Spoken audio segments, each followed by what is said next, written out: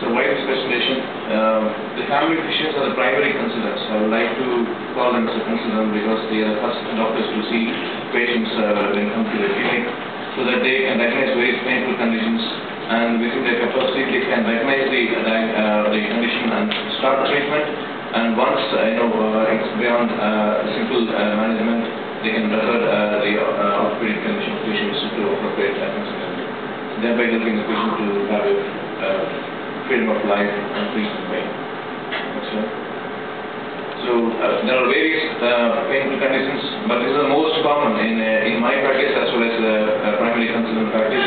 Uh, low back pain, knee pain, and shoulder pain are the uh, very common conditions. So before we used to have a treatment like you start with a basic painkiller and we go up the ladder and the individual treatments uh, given at different period of time. So those uh, that kind of uh, approach is outdated and now uh, multiple approach treatment is the one which is uh, being followed and also we start at the higher level of ladder treatment and then we step down once the symptoms come under control. So we'll, we'll see one by one. Uh, low back pain is the most common condition and also the most you know uh, a very confusing situation when we see a patient with a back pain. Uh, of course, even 30-40% of the times there will be a functional overlay on this uh, problem uh, due to various uh, social and occupational circumstances. And excluding them, um, there are few causes for low back pain. And I'm, of course, I'm excluding the rheumatological causes like fibromyalgia here. Um, next slide. So the muscle pain, you know, one uh, a patient can come with a, a muscle origin, low back pain, following lifting or strenuous activities, and uh, the pain increases with the stretch of muscles like flexion, where the extensors of the um, uh, spine get stretched. Usually they get relieved with rest and simple uh, painkillers and muscle relaxant and topical anesthesias are more than sufficient for these patients.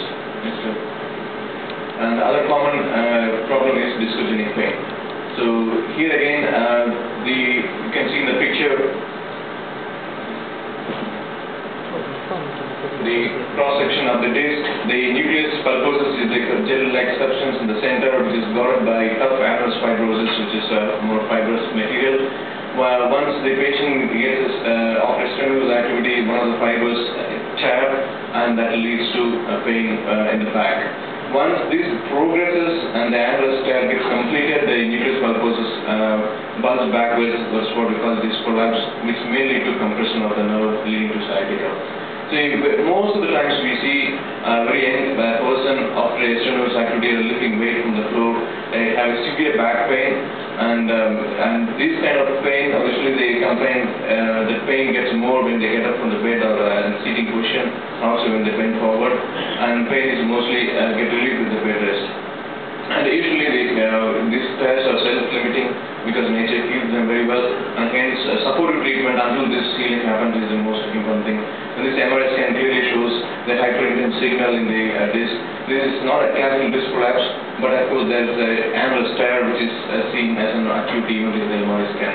And again, a supportive treatment and prevents further damage which is more important. So guidance of the patient and proper education to the patient on how to prevent future injuries so that they don't progress to classical sciatica. And this is um, common condition in elderly patients where they have arthritic changes in the facet joints. And this is a relatively normal facet joint, and you can see the arthritic changes. Here the pain is uh, particularly localized where they have focal tenderness over the facet joint, and pain is more on extending the spine rather than bending forwards. And uh, uh, the, the initial treatment will be like painkillers and uh, physiotherapy in the form of IFP to facet joint. In case of resistant uh, pa- uh, pain, steroid injection uh, under the C-arm guidance into the facet joints or sometimes radio frequency ablation of the terminal nerve fibers of the facet joint can be very helpful for the patient. Next. And this is uh, another common condition, the classical sciatica, where the disc uh, bulge has progressed through the uh, complete tear of the annulus fibrosus and pressing onto the sciatic nerve, where the pain typically radiates along the sciatic nerve down to the ankle and foot. And here the, patient typically says the leg pain is more than the back pain, and may have nerve dysfunction in the form of sensory numbness or motor weakness. And when you raise the leg, uh, what we call passive SLR, the patient comes up radiating a pulling sensation from the buttock to the foot. And uh, always in these situations rule out paraipuna, which might be a surgical emergency, which uh, uh, no uh, consultant wants to miss this uh, condition. Next slide. Again, in the initial stages of sciatica, uh, rest, anti-inflammatory medicines and uh, some nerve cooling medicines like pregabalin or gabapentin is helpful. And also we can add physio in the form of uh, traction or IOT.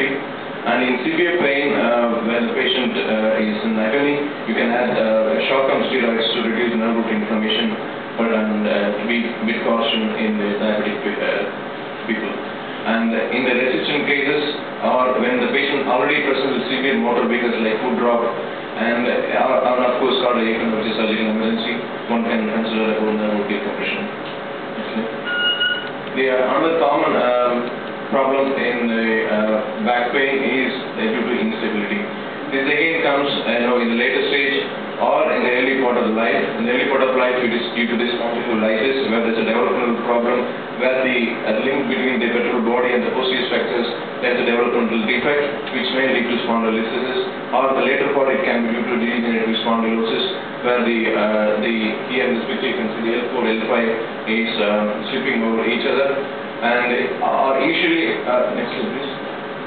The initial treatment is always conservative.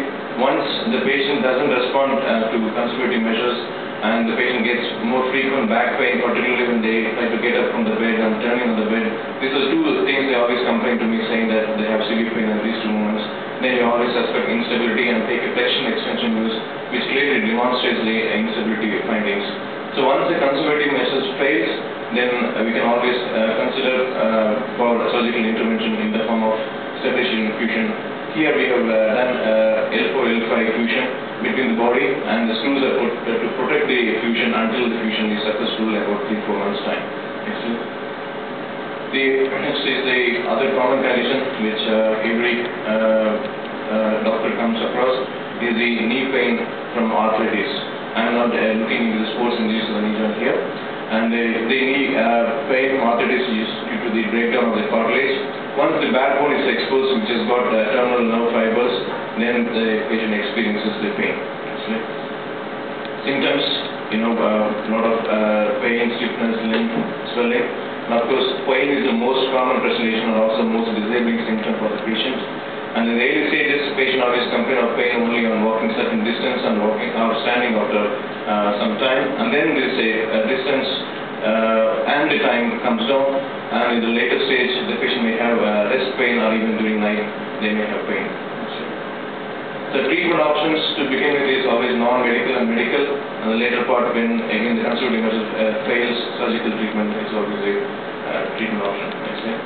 So non-medical, the weight reduction is does help in the reduction of the pain because after all the load through the joint comes down when one, when uh, individual reduces his or her weight.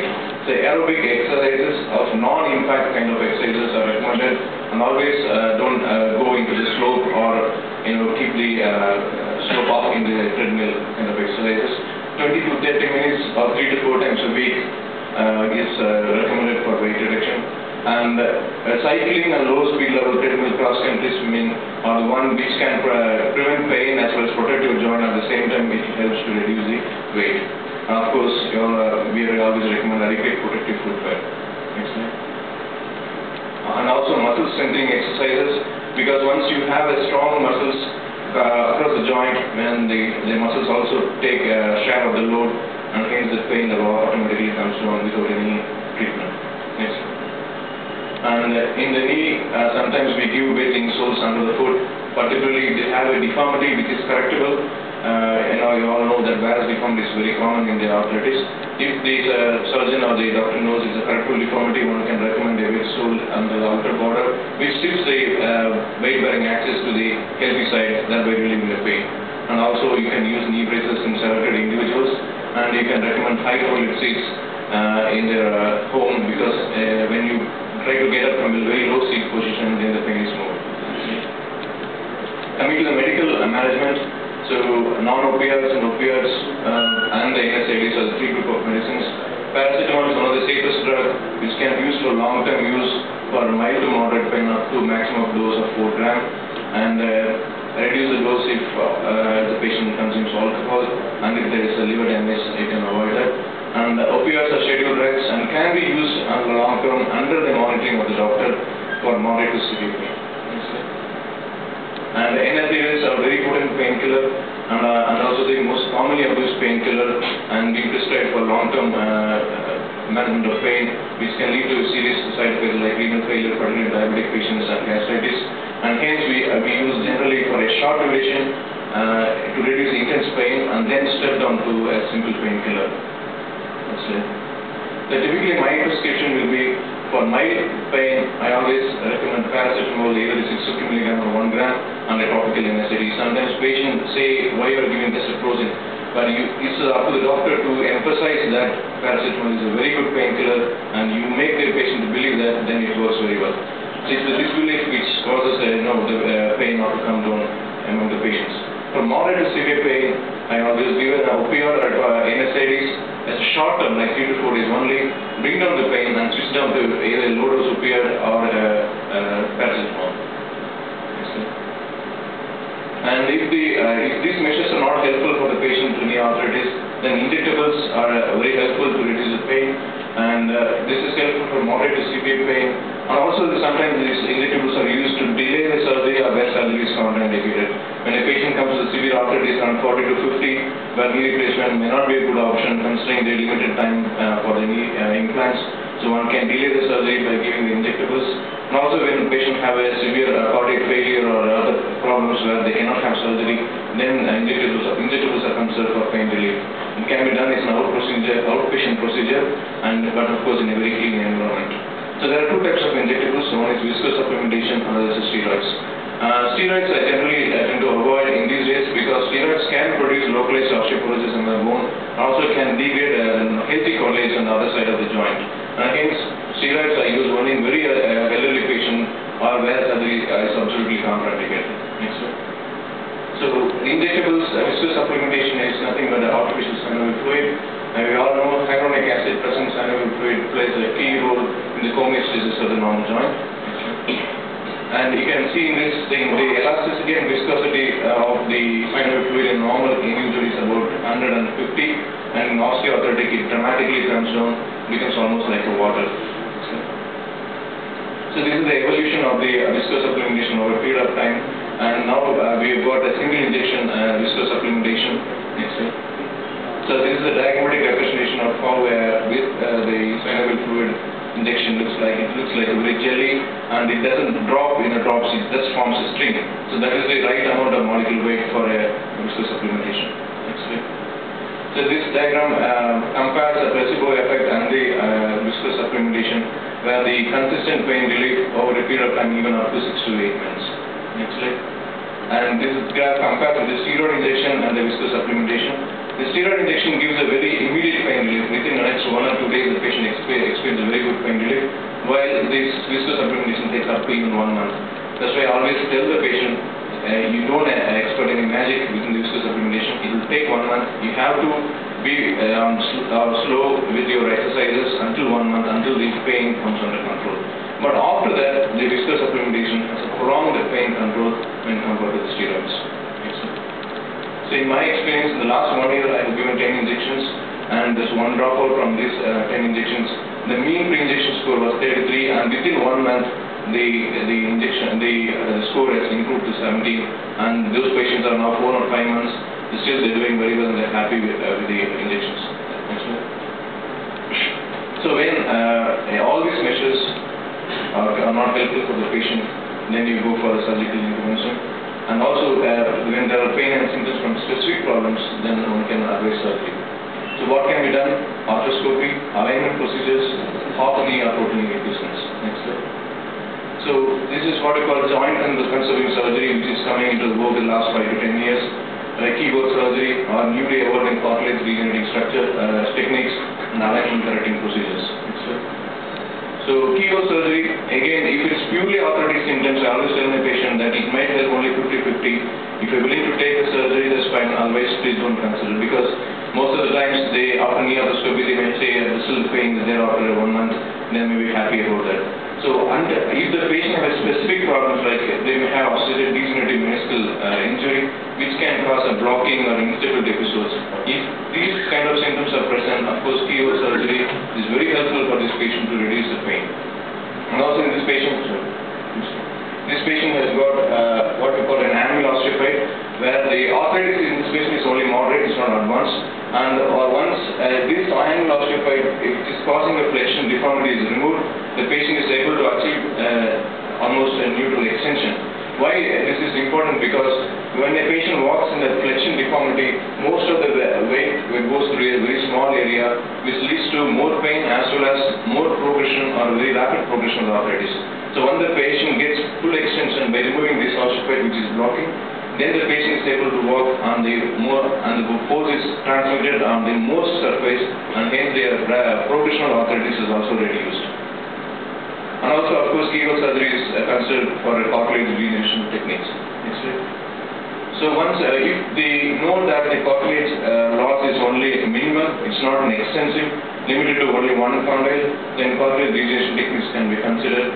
Here is the example of microfracture, where controlled fracture of the subchondral bone, and also we demonstrate by releasing a tourniquet that blood comes out of these holes, and this uh, blood contains the basic mesenchymal cells from the subchondral bone, which forms a superclot covering this defect, and uh, we always recommend non-weight bearing not to disturb the superclot. Then in six week time, the superclot transforms itself to a fibrocartilage which covers this defect and thereby giving pain relief. And also, if the patient has got only arthritis in one joint, one compartment of the joint, then we can always, for particularly for younger patients and more demanding patients, we can always consider alignment correcting procedure. The basic principle is shifting the weight to the healthy joint, thereby the patient is having pain relief. So also this delays the joint replacement procedure at a later time when they come again for pain. So when uh, suitable candidate with appropriate age, when all the conservative measures fail, then joint replacement care surgery gives a very predictable pain relief for a good length of time. So there can be either half knee replacements involving only one, one side of the compartment or even the kneecap joint, or it can be total uh, joint replacement. Next one. So, joint replacement surgery has life like a human. The present techniques, the most uh, the implants um, survive at 12 to 15 years or even beyond, and uh, hence we always uh, suggest to a patient that, and also suggest the treatment knee replacement for a patient who uh, will may have only one surgery at a lifetime. If the patient comes with the severe arthritis less than 50 years, we always tend to postpone by using other techniques, thereby they can have only one surgery at a time. Replacement should last for life, but still we are in the uh, progress to find one. One. So how do we approach uh, arthritis in our center? Each patient is managed tailor-made. It's not just, you know, uh, generalized treatment for every patient. So patient symptoms, findings, and most important, patient expectation, which determines the treatment choice. If the patient says, I'm happy with what I'm doing now, I'm happy with walking only 10 feet, which I'm comfortable, then there's no point in suggesting surgery for them. If they want to have a very active uh, life, healthy life, and the pain is limiting that, then we suggest for surgery. So always treat patient symptoms and not the x-rays. And even if the x-rays are advanced the pain level is low and the patient can manage most of the day-to-day activities, then conservative treatment is the first choice. Successful, yes. successful joint replacement surgery is uh, based on various factors. And also selection of appropriate implants. And balancing them in and placing them in a precise position where computer assisted joint replacement plays a major role. So here is the example of how we do a joint replacement with the help of a computer. So it gives an accurate idea of for the surgeon how good he has placed the uh, implants how good he is going to place the implants on the table. That gives a, a better uh, you know uh, uh, confidence for the surgeon as well as for the patient, and also helps the patient to uh, uh, limit the soft tissue release to correct the deformity at the appropriate stage. That way he doesn't overdo the procedure leading to uh, late disabilities for the patient after total replacement. So they also give a, a sheet for the patient that how we have done and how much correction we have done. And also balancing the soft tissues uh, around the joint, which gives the patient a better function of not only life of the knee, but also the better function that the patient enjoys his knee. So prevention of knee arthritis, from the general point of view, lifestyle modification, weight reduction exercises, and uh, all these things from the patient side can help in the progression of knee arthritis. And cochlear supplements, personally, I don't believe in them until the new studies come up. From the surgeon's point of view, when a patient comes with a knee injury, so we have to recognize the particular injury and treat appropriately, thereby preventing risk of arthritis. Next slide. So this kind of uh, meniscal tears, we repair rather than removing them. Next slide. And this patient came with a patellar uh, uh, instability due to a fracture and uh, disruption of the ligament. So this patient had continuous pain for one year and uh, they couldn't uh, have a proper solution. Once we reconsidered the, the medial ligament, the patient was fine. If this not been uh, uh, treated properly, the patient may have gone for uh, patellofemoral arthritis in four or five years' time. Next. And also this patient had a cartilage damage of the patella. This is an young boy, 18 years old. So once we replace the cartilage and fix, the arthritis is, is very much come down. And of course, other common problem we see is the shoulder. So bursitis and tendinitis is very common in the middle age group where patients have pain with overhead activities. And it usually we diagnose by giving a diagnostic injection in the subacromial bursa. Within 15 minutes they have pain relief. Then we know what we're dealing with and the physio and the steroid injection can be very helpful in this uh, condition. Next slide. And rarely arthroscopic debridement or decompression is indicated uh, if they have a particular uh, osteophyte or uh, classical bursa- bursitis in this situation. Next slide. And another common uh, problem among diabetic individuals is the frozen shoulder, where pain and stiffness, particularly with the external rotation, is the first movement to be lost in frozen shoulder. And physio wax bath is begin with, with for- a range of movement exercise. Once the, uh, the shoulder is very resistant to uh, the treatment, arthroscopic capsular release is preferred. Previously, we used to do manipulation and anesthesia, but which is a very uncontrolled procedure. Many of the times when, in my early practice, when we do, the patient comes with, with severe pain. So he comes back with revenge. So the patients are not happy. But with the arthroscopic capsule release, we, we uh, with control, we release the anterior capsule. You can see how much tight this capsule is, just it opens out. So here we do, do under control and hence the, uh, the outcome is very good. The patient have painless, full range of movement almost. Next. So these are unique orthopedic theatre with a unique kind of laminar arco system, uh, which is based on the European model. Thank you very much. There are no questions? What is the role of muscle relax? Sorry, sir? Muscle relax. Yeah, only I give in the when when we, uh, the patient has got mu- real muscle spasm, like, you know, most commonly in the back pain, when they have limitation of flexion and they have, you know, muscle pull in the back. Other than that, um, apart from the back, I generally don't use muscle relaxants for knee pain or shoulder pain.